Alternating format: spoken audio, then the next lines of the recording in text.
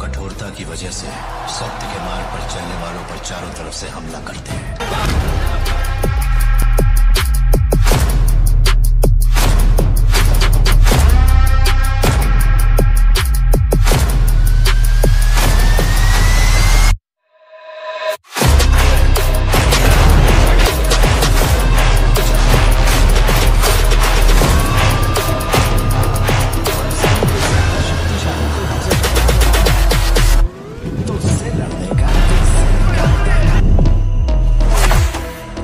system is enough.